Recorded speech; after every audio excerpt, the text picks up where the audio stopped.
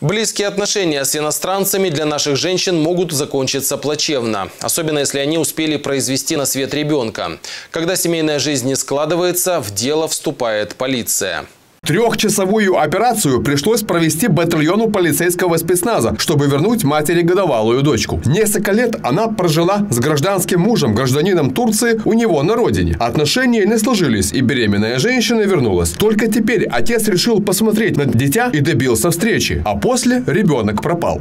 А, я вынуждена была покинуть квартиру и уехать в Авир для оформления пакета документов на вид на жительство. И я оставила э, ребенка с мужем.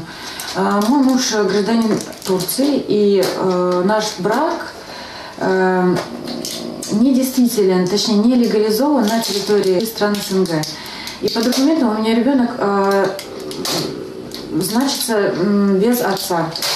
И э, брак находится в данный момент э, в очень плачевном состоянии, и э, отношения тоже плохие.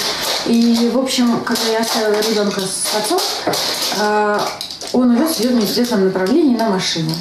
А, при этом э, давая мне некую информацию, что он увозит ребенка за границу, что ребенку сделан турецкий паспорт и что больше ребенка я никогда не увижу. Матери и дочке повезло. Полиция успела вовремя. Отец, видимо, не ожидал такой быстрой реакции. Вжитими заходами Місце знаходження дівчинки та її біологічного батька, також іноземця, було встановлено. Їх було доставлено до Приморського відділу поліції, де дитину передали матері. Остается неясным, будет ли привлечен к ответственности турецкий отец-похититель. Для уголовного производства есть все основания.